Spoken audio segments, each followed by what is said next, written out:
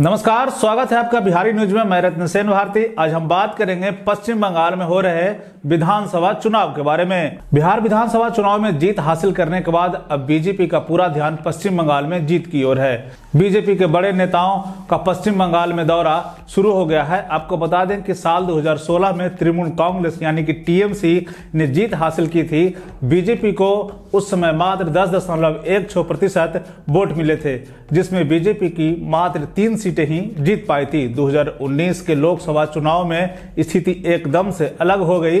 पश्चिम बंगाल में बीजेपी दूसरी सबसे बड़ी पार्टी बनकर सामने आई।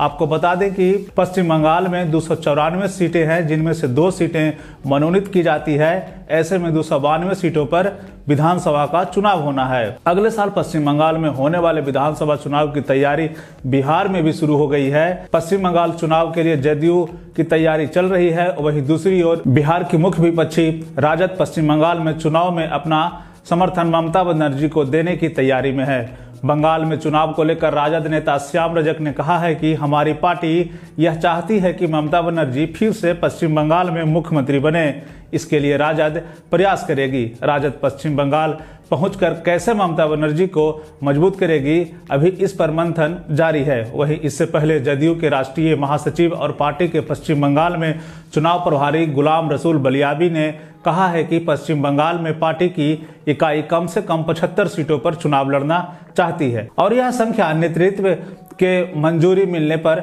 बढ़ भी सकती है। बलियाबी ने कहा कि उनकी पार्टी पहले भी पश्चिम बंगाल में विधानसभा चुनाव लड़ चुकी है। उन्होंने कहा कि हम इस बार भी ऐसा करना चाहेंगे। हमारी पार्टी ने मालदा, सिलीगुड़ी, मुर्शिदाबाद, पुरुलिया बांकुड़ा और नंदीग्राम जैसे जिलों में बड़े पैमाने पर सदस्यता अभियान चलाया है। उन्होंने कहा कि पार्टी उन जगहों पर अच्छा प्रदर्शन करने के लिए आसान्वित है, जहाँ बिहार से आए लोगों की संख्या अधिक है। बलियाबी ने दावा किया कि मुख्यमंत्री नीतीश कुमार के बिहार के सुशासन की चर्चा प्रदेश के आसपास के राज्यों में भी है।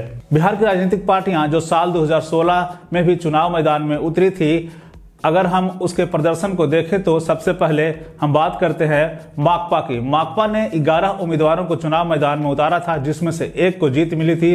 वहीं अगर उसके हम वोट की बात करें तो उन्हें सात लाख इक्यानवे हज़ार वोट मिले थे। जदयू की बात करें तो जदयू ने दो उम्मीदवारों को चुनाव मैदान में उतारा था, लेकिन किसी को जीत नहीं मिली।